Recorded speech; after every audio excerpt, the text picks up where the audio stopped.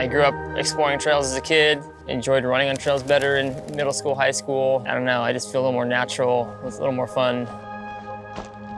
That sense of accomplishment, like when you get to the top of a climb, you have this beautiful view. It's so unique and so rewarding. It's just the excitement of exploring a new, new area, a new landscape. It's just a different focus. Some of it's understanding and figuring out the trail as you go. It's a unique challenge each time.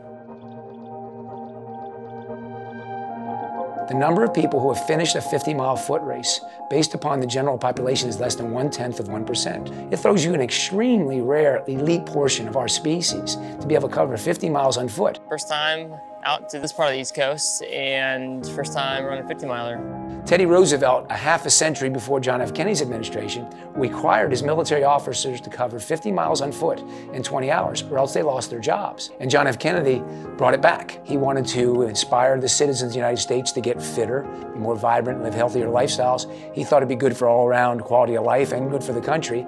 So events like this popped up all over the United States and on military bases around the world, been held annually every year since 1963. Participants come from all 50 states. They come from abroad, foreign nations, and some people come because it's got this uniqueness, this tie-in with John F. Kennedy. Others because it's a world-class athletic event. JFK 50 Miler holds a special place in my heart. It's the first time I ever ran 50 miles. It has so much history. It is the oldest ultramarathon in the United States. Having both a technical background coupled with having the empathy as a runner to understand how to influence product, I think that's really, really key. Starts in the town of Boonsboro, which is actually named after Daniel Boone. It finishes in Williamsport. It's three distincts, the mountains, the towpath, and then the road. What are you gonna go across the mountains in?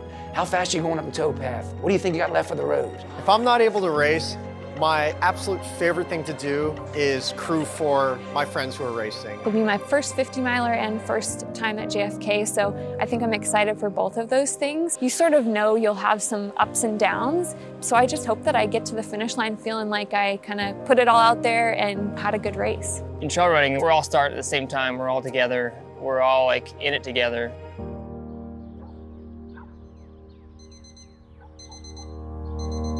Official time is 6:20, 10 minutes to go to the 2021 JFK 50 mile. Saturday before Thanksgiving each year, it is so rewarding. That race starts exactly at 6:30:00 atomic clock time. Five seconds. And they're off. The first five and a half miles climbs over a thousand feet. That would be a, a, tough enough event. When you get there, we kind of joke, well, it's all downhill from here, but it's only 44.7 miles to the finish line. The races on the East Coast are hard. The terrain is tough. The weather is really fickle.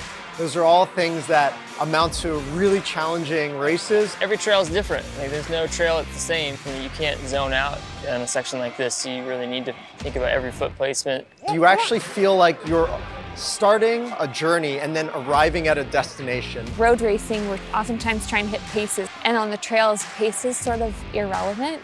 So you just have to really focus in on that effort piece, so heart rate and breathing and just how things feel. It'll wake you up quick when you start to think you're gonna roll an ankle. It just makes you hyper-focused on the trail.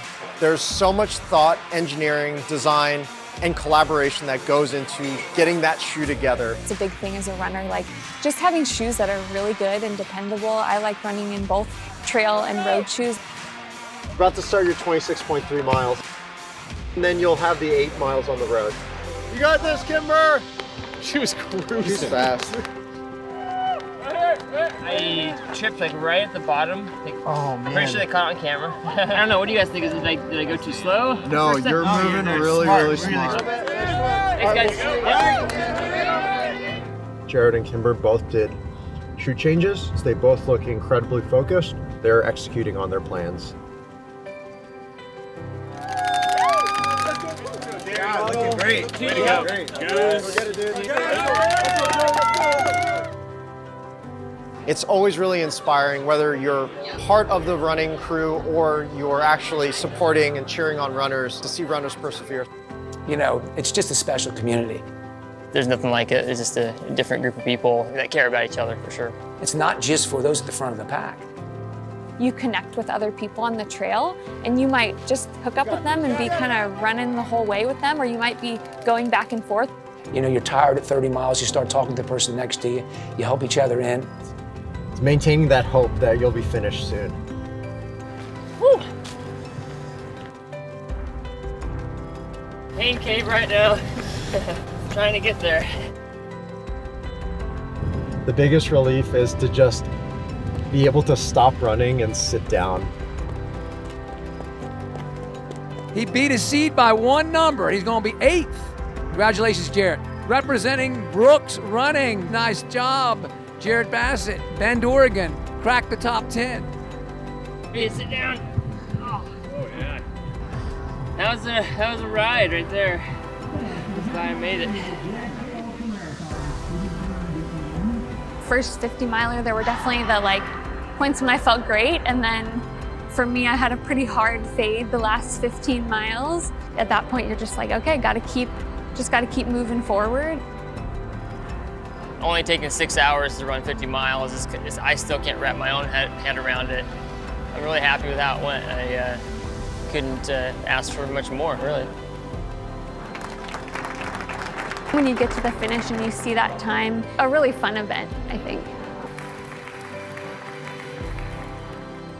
Everyone wants to, you know, be competitive, but at the end of the day, it's really the community that makes trail running really, really special.